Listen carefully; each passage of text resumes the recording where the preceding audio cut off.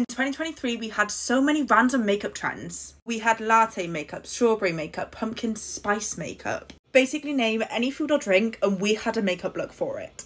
And this year, we're starting out strong.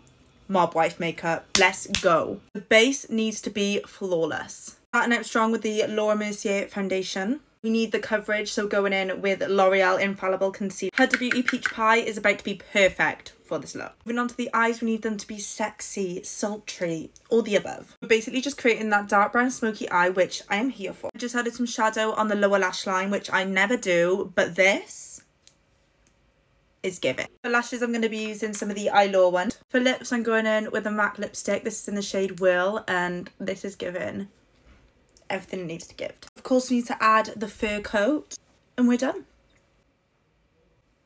Fur coat really brings all the vibes together, and I'm obsessed.